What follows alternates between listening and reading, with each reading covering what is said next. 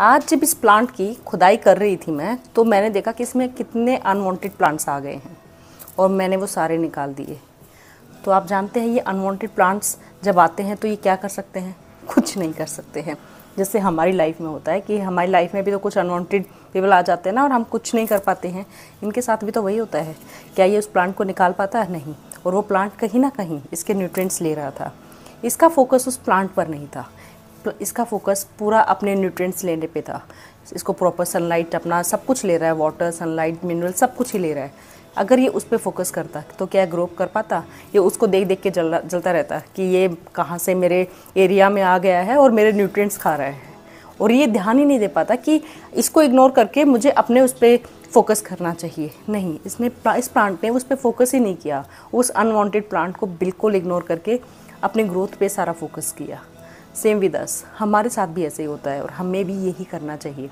हमारी लाइफ में कितने ऐसे अनवांटेड पीपल होते हैं जो जिन्हें हम चाहते नहीं हैं और ना ही हम उन्हें अपनी लाइफ से निकाल सकते हैं।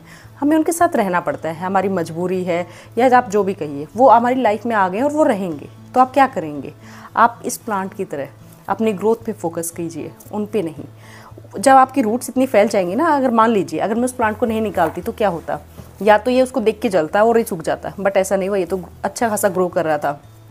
तो या तो मैंने निकाल दिया, या फिर एक दिन क्या होता कि अपनी रूट्स को इतना फैला देता कि उस प्लांट को न्यूट्रिएंट्स मिलने बंद हो जाते और वो खुद ही सूख जाता। हमारे साथ भी यही है। अगर हम किसी को इम्पोर्टेंस देना बंद कर देंगे, जो वो अनवांटेड पीपल हैं, जो आपको उंगली कर रहे हैं, अगर आप उन्हें इम्पोर्टेंस देना ही बंद कर देंगे तो वो एक दिन खुद ही साइड हो जाएँगे। तो उनको इम्पोर्टेंस नहीं देनी है। आपको अपने और पे, अपना जो आपका पॉजिटिव हो रहा है, उसको क्लीन रखना है। आपको अपनी ग्रोथ पे फोकस रखना है कि, और आपको उनकी वजह से हर्ट नहीं होना है कि ये मेरे बारे में कुछ ऐसा बोल रहे हैं, ये ऐसा क्यों कर रहे हैं। ऐसा आप वो सब इग्नोर कर दीजिए।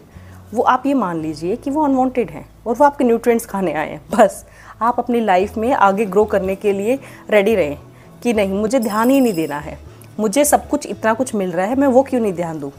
मैं इन इन चीज़ों पे, इस अनवांटेड इंसान पे अपना फोकस अपना ध्यान क्यों लगाऊँ? क्यों मैं इसे इंपॉर्टेंस देके अपना टाइम वेस्ट करूँ? अपनी ग्रोथ को रोकूं? नहीं, आपको अपनी ग्रोथ नहीं रोकनी है। आप अपना ग्रोथ की ग्रो कीजिए, अपनी लाइफ पे फोकस कीजिए और जो ये अनवांटेड पीपल है ना, या तो इनको कोई हटा देता है, या फिर एक दिन आपकी ऊंचाइयों को देखकर ये खुद ही हट जाते हैं, क्योंकि इन्हें स्पेस ही नहीं मिलती है। अगर आप स्पेस देंगे नहीं तो इन्हें स्पेस मिलेगी ही नहीं।